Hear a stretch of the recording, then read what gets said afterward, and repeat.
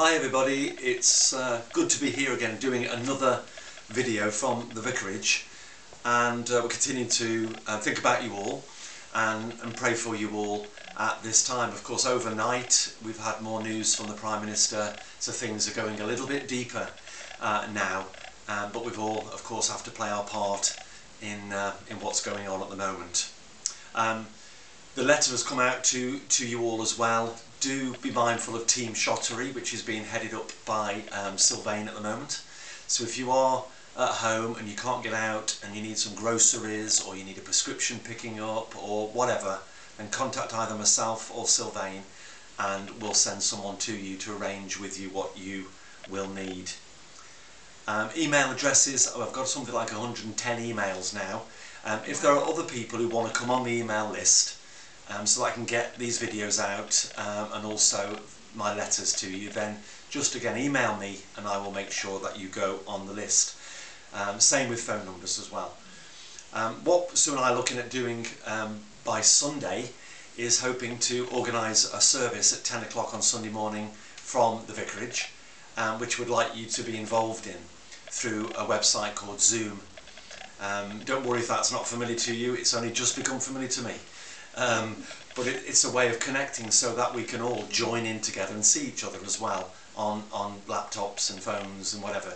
But again, look out on your emails and we will give you information about how to log on to that and, and hopefully on Sunday um, we'll be able to worship together in some way um, on that morning.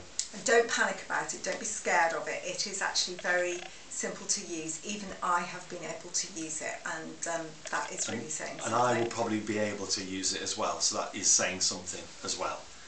It's been really good as well that you've uh, lit candles this week, particularly on Mothering Sunday evening, and sent some of your images through to us. Uh, I'm sorry you didn't get our candle image. Uh, for some you did, some didn't, some did. Um, but I would urge you to continue as we're doing here at the vicarage, to continue lighting your candles um, and keeping them burning. We've also put Christmas tree lights out on the tree. Yes, it's March, we know. Christmas tree lights as well. So Christians have always been bonkers, so that's all right. But it just made me think that during the 1970s, the early 70s, when I was a very young boy, um, we had those strikes um, when um, electricity was all cut off and I never forget my mum getting candles out from underneath the sink and giving my brother Chris and I candles.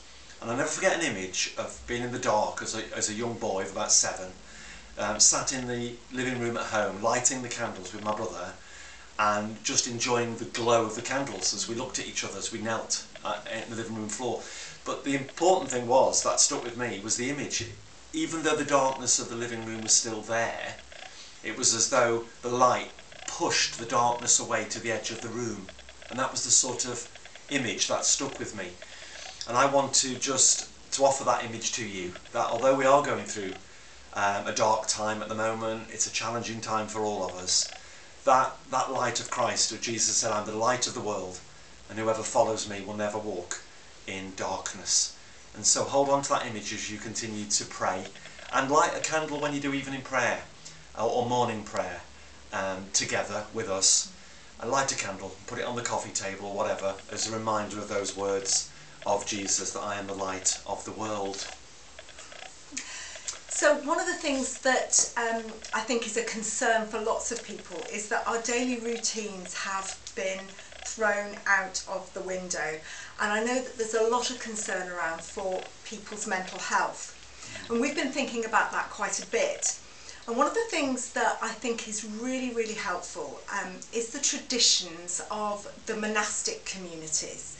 Actually, Craig and I read a book uh, a few years ago called Monk Habits for Everyday... It's not oh, a plug, I'm not plugging it. Here's I'm not, one he I'm not suggesting earlier. you go and buy it on Amazon and read it. It's just, it's even a good visual aid. Oh, okay. There you that, go. was, that was Monk really, habits. Yeah, Monk For Habits everyday for everyday people.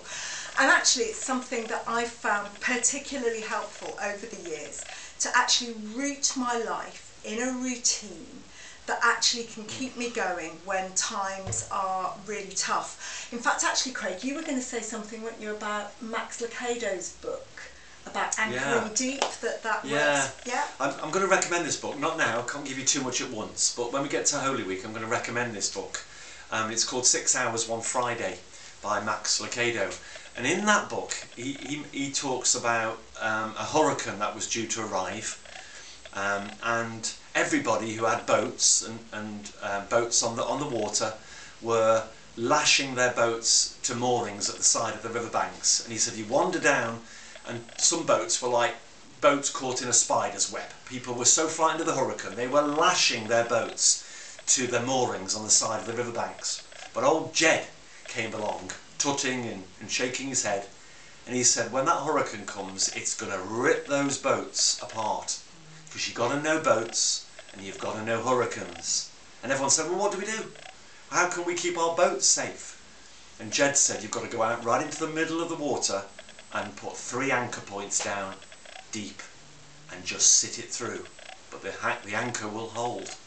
And uh, I've always remembered that, and um, you know, and that'll be in the book, which we'll, we'll I'll recommend to you a bit later on. But anchoring deep is something we can do when we actually adopt monk habits for everyday people. There are actually kind of three strands, if you like, to the monastic life there's community actually learning to live together. Now, of course, at the moment, we're all learning to live apart. But actually, strangely, in these last couple of weeks, I've spoken to more people, um, you know, friends, family, that actually sometimes I go for much longer periods without actually having any contact with them. So actually, there's an opportunity here for us to pull together as a community in a way that we have never done before. The second is prayer, actually anchoring our lives in prayer because when we have those solid foundations, it enables us to feel rooted when everything around us feels as if it's changing so incredibly quickly. And then the third bit of the, the strand is actually to think about how we live. How do we live in these very uncertain and strange times? And of course, again, one of the things that the monastic tradition teaches us is about actually having a rhythm of life. And when our lives have been turned upside down, actually creating a rhythm in our daily lives is really, really important. I was actually talking to my boss this morning, quite early this morning on the phone, and we were talking about the importance of lipstick. Now, you might laugh and think that that's, I use a bit, it all the time. that that's a bit flippant. Actually, if we just stayed in our pyjamas all day, it would be very easy to get down, getting dressed in the morning, putting our lipstick on. Uh, I'm not suggesting everybody does that, but you know what I mean. It's about actually establishing a rhythm and puncturing the day with the daily offices as well, saying our prayers in the morning, saying our prayers maybe at lunchtime, and again in the evening gives us anchor points, back to the anchors again, in our day to enable us to feel rooted.